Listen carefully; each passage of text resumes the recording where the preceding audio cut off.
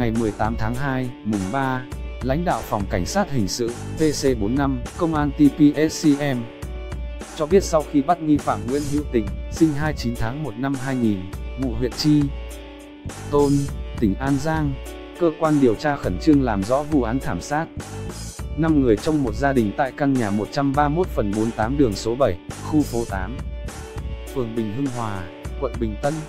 Những nạn nhân gồm ông Mai Xuân Trinh, 46 tuổi, chủ căn nhà 131 phần 48, bà Mai Thị Hồng, 37 tuổi, vợ ông Trinh, cháu Mai Xuân Triệu, nam, 13 tuổi, cháu Mai Huyền Diệu, nữ, 11 tuổi, và cháu Mai Huyền Diệp, nữ, 6 tuổi, đều là con của vợ chồng ông Trinh.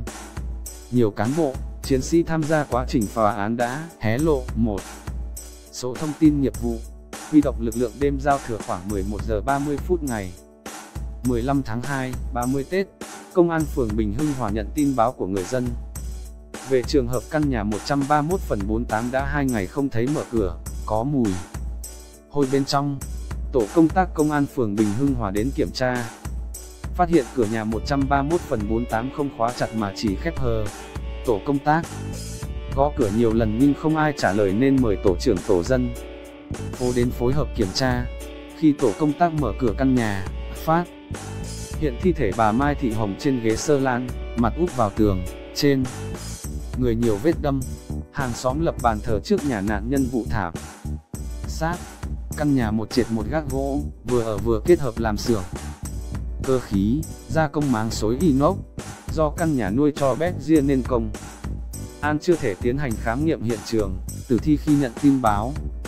Điều này nhằm tránh cho bé riêng tấn công, xáo trộn hiện trường, ảnh hưởng công. Tác điều tra, sau khi tăng cường lực lượng, cảnh sát đã vô hiệu hóa chó Berkshire. Khi đó lực lượng chức năng tiếp tục phát hiện thêm 4 tử. Thi tại ba phòng trên gác gỗ, ông Trinh và ba đứa con.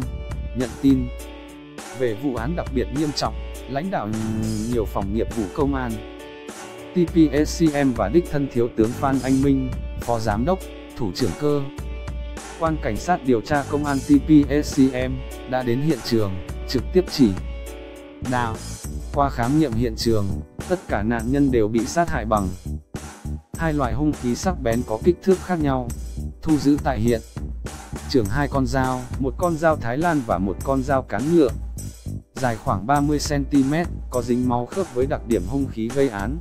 Từ công tác ghi nhận lời khai hàng xóm căn nhà và biện pháp nghiệp vụ khác, công an phát hiện một số tài sản của vợ chồng ông Trinh bị mất, trong đó có xe máy OAS.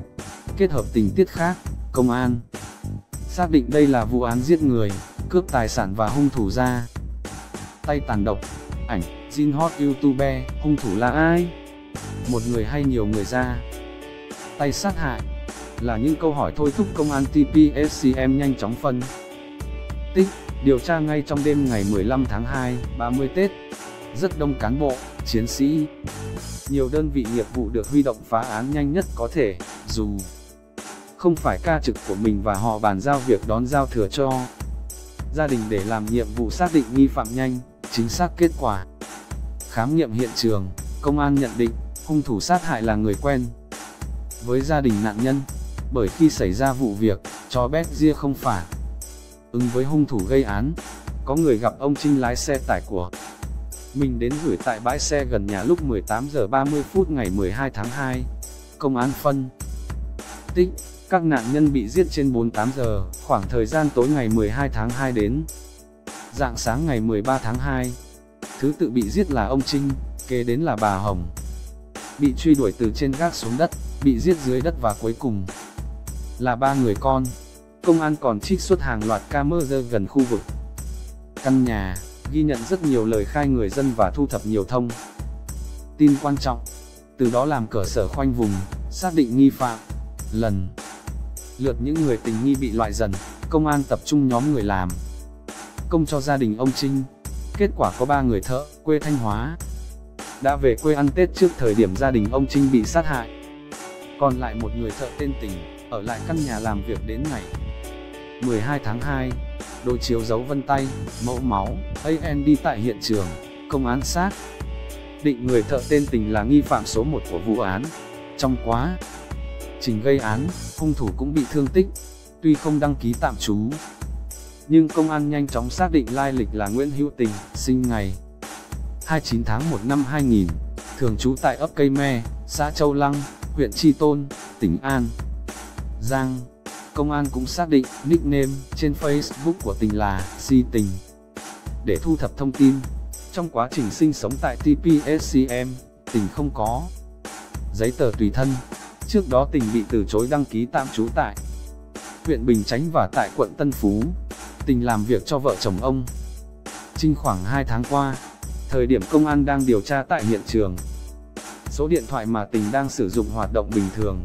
Tuy nhiên, đến khoảng 2-3 giờ ngày 15 tháng 2 khi báo chí đăng tải thông tin rất nhiều, Tình cũng khóa máy, mất tín hiệu.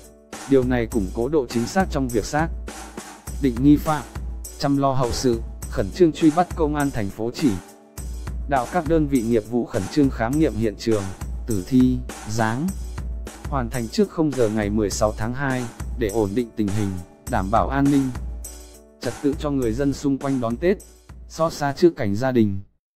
Bị thảm sát, ngay trong đêm 30 Tết, công an cùng lãnh đạo Ủy ban Nhân dân quận Bình Tân phối hợp, liên hệ thân nhân, gia đình của vợ chồng ông Trinh, để lo hậu sự chú đáo cho các nạn nhân, đồng thời công an tăng cường, triển khai rất nhiều lực lượng chia làm nhiều tổ công tác, lên kế hoạch truy bắt tỉnh ngay trong đêm ngày 15 tháng 2, đêm 30 và dạng sáng ngày 16 tháng 2, mùng 1 Tết. Thông tin công an thu thập, khoảng 23 giờ 30 phút ngày 15 tháng 2, đoán biết hành vi của mình đã lộ, tình chạy xe máy từ TPSCM bỏ trốn, nhiều mũi. Trinh sát lần theo dấu vết tình suốt đêm giao thừa, xác định hướng về tỉnh Long An và khả năng tỉnh ở lại tỉnh Long An, chứ chưa về quê An Giang. Để truy bắt tình, lực lượng Cục Cảnh sát Hình sự C45 Bộ Công an cũng được điều động phối hợp Công an TPSCM và Công an nhiều tỉnh thành khác. Các lực lượng rào chắn tại cửa khẩu biên giới các tỉnh An Giang, Long An, Tây Ninh để phòng nghi phạm trốn qua Campuchia. Đến trưa ngày 16 tháng 2, mùng 1 Tết, một tổ công tác phát hiện tình đang ở tại một địa điểm thuộc huyện Cần Duộc, tỉnh Long An. Trên tay của tình bị thương tích như phân tích trước đó, bên cạnh có xe máy OAS của vợ chồng ông Trinh. Ngay lập tức, trinh sát tiếp cận, bắt gọn không cho. Tình có cơ hội phản ứng hay chống trả. Sau đó, tình được di lý từ huyện Cần Duộc, tỉnh Long An, về công an TPSCM. Tại đây, trước những chứng cứ rõ ràng, tình nhận tội đã sát hại gia đình ông Trinh và cướp tài sản.